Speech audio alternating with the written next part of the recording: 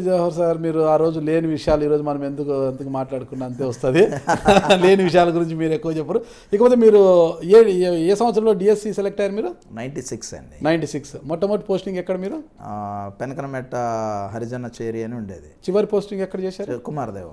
ఇక్కడ కుమారదేవము. ఓకే. మూడు కూడా కొవ్వూరు మండలం. ఒకవైపు ఉపాధ్యాయుడిగా కొనసాగుతూనే మరోవైపు టీడీపీకి మద్దతుదారుడుగా పనిచేశారు మీరు? నేను మొదటి నుంచి కూడా చెప్పాను కదా ఎనభై తొమ్మిదిలో మా బ్రదర్ పోటీ చేయడం అప్పటి నుంచి కూడా టీడీపీ అంటేనే అభిమానంతో ఉండటం కానీ ఈ పోస్టల్ బ్యాలెట్లు వీటన్నిటితో కూడా తెలు టీడీపీకి ఏ విధంగా మా వాళ్ళని కౌన్సిలింగ్ చేసి పార్టీ అండ్కి ఏ విధంగా అటాచ్ చేయడం అనేది చేసి ఆ విధంగా శ్రేణులతో దగ్గరగా ఉన్నటువంటి పరిస్థితి. ఇదేదో ఎస్సీ నియోజకవర్గం అవుద్ది నేనేదో ఎమ్మెల్యే అవుదామని చేసినని కాదు. కొవ్వూరు నియోజకవర్గం ఓసీ నియోజకవర్గం. రెండు వేల తొమ్మిది వరకు కూడా.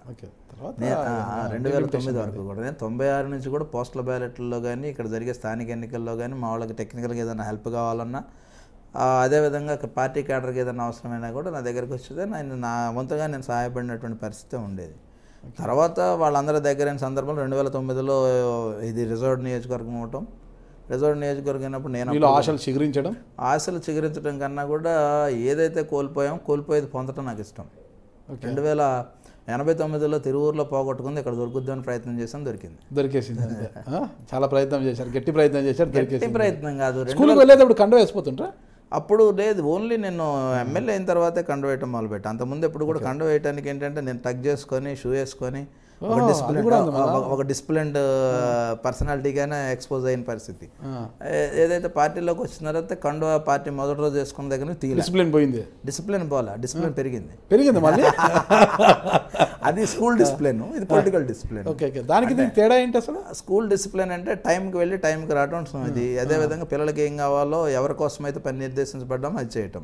ఇది దీని టైం లెస్ ఎండ్లెస్ అనమాట ట్వంటీ ఫోర్ అవర్స్లో ఏ సమయంలోనైనా ఎవరికైనా ఏ సాయం టైంలోనే పోవచ్చు ఏ టైంలో రావచ్చు. ఏ టైంలోనైనా పోవటమే రావటం అనేది ఉండదు. లోపలికి ఎప్పుడు రెస్ట్కి రావటం తప్ప పని చేయకుండా పోవటం అనేది ఉండదు. ఎందుకంటే దీనికి రాగద్వేషాలకు అతీతంగా చేస్తానని ప్రమాణం చేసిన తర్వాత ఇర్రెస్పెక్టివ్ ఆఫ్ పార్టీలు కూడా చాలా మంది నేను ఆదుకున్నా. ఆర్థిక పరంగా వైద్యపరంగా వాళ్ళకి అవసరాల పరంగా విద్యాపరంగా ఏ అవసరం వచ్చినా కానీ వేరే పార్టీ వాడికి కూడా టక్కుమని గుర్తొచ్చేది నా పేరే.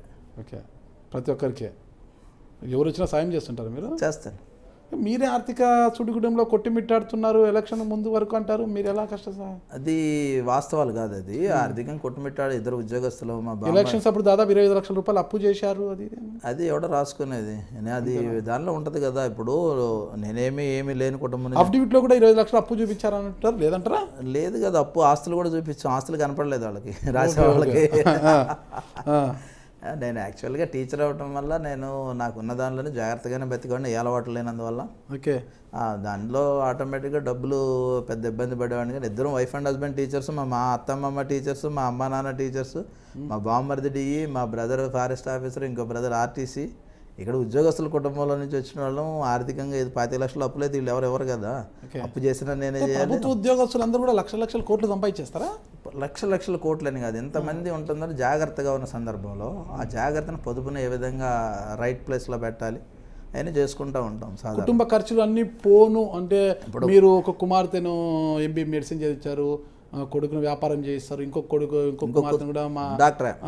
డాక్టర్ చేయించారు. ఇంత చేసిన వీళ్ళందరి చదువుల కోసమే మనకు జీతాలు సరిపో జీతభత్యాలు సరిపోవు కదా? నా పెద్ద ఇన్ని లక్షలు కోట్లు ఎలా సంపాదిస్తాం మనము? నా పెద్ద కూతురు మొత్తం అయిన ఖర్చు మూడు లక్షలు.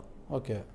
లక్ష ఐదు వేల రూపాయలు ఇంటర్మీడియట్కి అయిన ఖర్చు. ఓకే. వాళ్ళు ninety nine percent intermediate batch okay. వాళ్ళ భోజనానికి చూసి తప్ప హాస్టల్ ఫీజులు తప్ప నాకు పెద్ద ఖర్చులు ఏం లేవు. నేనేం కొని సంపాదించింది ఏం లేదు వీళ్ళకి. దాంతోపాటు ఇద్దరు ఉద్యోగాలు అయిన సందర్భంలో ఈరోజు నా భార్యకి దాదాపు అరవై వేలు పైన జీతం వస్తుంది. నేను దిగిపోయేటప్పుడు నలభై వేల రూపాయలతో దిగిపోయా. చిరు నలభై వేలలో మాకు ఏ అలవాటు లేని ఒక ఆ కుటుంబాన్ని ఏ విధంగా ప్లానింగ్ చేసుకొని చేసుకోవాలనేది తెలియని వ్యక్తులు వేరే రకంగా ఉంటారు. నేను ప్రతి నెల ఒక ఇరవై వేలు ముప్పై వేలు మిగిలాయి నాకు. సంవత్సరానికి మూడు లక్షలు మిగిలాయి. ఆ మూడు లక్షలతో ఒక సైటో లేకపోతే ఏదైనా పెట్టుబడి ఎక్కడైనా పెట్టో స్లీపింగ్గా ఉండో లేకపోతే ఇంకో విధంగా ఉండో నాకు అవసరాలకి నేను ఎప్పుడు రిజర్వ్ చేసుకునే పరిస్థితే. దాంతోపాటుగా ఈరోజు అప్పటి నుంచి కూడా పిల్లల్ని చదివిస్తూ ఉన్నాను నేను. ఆ డబ్బులతో కూడా నా పిల్లల్నే కదా బయట పిల్లల్ని కూడా చదివిస్తూ ఉంటాను. బయట పిల్లల్ని కూడా? బయట పిల్లలు ఇప్పుడు చదివిస్తున్నారు? ప్రతి సంవత్సరం ముప్పై మందిని చదివిస్తాను. కార్పొరేట్ స్కూల్లో చదివిస్తారా? వాళ్ళు ఎక్కడ చదువుకున్న ఫీజు నేను సగం కడతా ఉంటా. అంటే వాళ్ళు హార్ఫన్ సెమీ హార్ఫన్ ఈ రేషియోలో తీసుకుంటాం. సెమీ హార్ఫన్ అయితే నేను సగం కడతా ఫుల్ హార్ఫన్ అయితే నేనే కడతాను. వాళ్ళకి వాళ్ళు ఇబ్బంది ఉందని నా దగ్గరికి వచ్చిన వాళ్ళకి.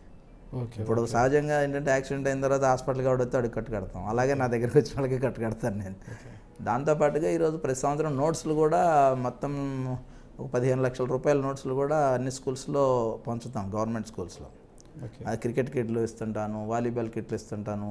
నా ఫ్రెండ్ సర్కిల్ ఉన్నారు వాళ్ళందరి దగ్గర తీసుకుంటాం అందరం కలిసి ఒక పూలప్ చేసి చేస్తూ ఉంటాం. ఇప్పుడు బాక్సింగ్కి వెళ్ళే వాళ్ళకి క్రీడల పట్ల వెళ్ళే వాళ్ళకి ఛార్జీలు లేకపోతే ఛార్జీలు ఇస్తుంటాం. అది ఎప్పుడు నిరంతరం జరుగుతూ ఉంటుంది. అందరికీ సాయం చేస్తుంటారు అనమాట